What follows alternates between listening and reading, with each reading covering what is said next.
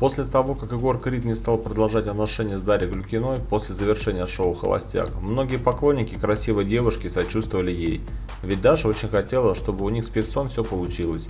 Другие фанаты проекта в то время говорили красавице, что с ее внешностью и добротой ей недолго быть одной. Наверняка скоро найдется мужчина, который оценит ее по достоинству. И кажется, спустя два месяца он появился. По крайней мере, к таким выводам пришли фолловеры аккаунта Глюкиной, когда посмотрели один из ее сториз. Подруги засняли Дашу в компании мужчины, как считают поклонники хозяина яхты, являющегося ее ухажером. Видео вскоре было удалено из соцсетей, что еще больше подогрело интерес фанатов к интриге. Тем более, что недавно девушка изменила внешность, став блондинкой, а такое обычно бывает, когда в жизни женщины грядут перемены. Плюс Даша показала фото в подвенечном платье, заставив поклонников думать о том, что марш Мендельсона, который прозвучит специально для Клюкиной, не за горами.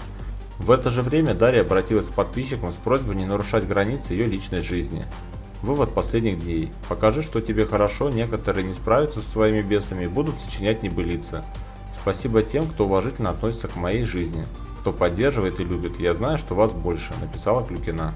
К слову, с финала телепроекта Дарья была лишь раз замечена в компании Егора Крида. Напомним, что в конце «Холостяка» певец сделал Клюкиной предложение и вручил заветное кольцо. Однако после окончания проекта прервал всякое общение с девушкой. Разве лишь ребята комментируют друг друга в инстаграме.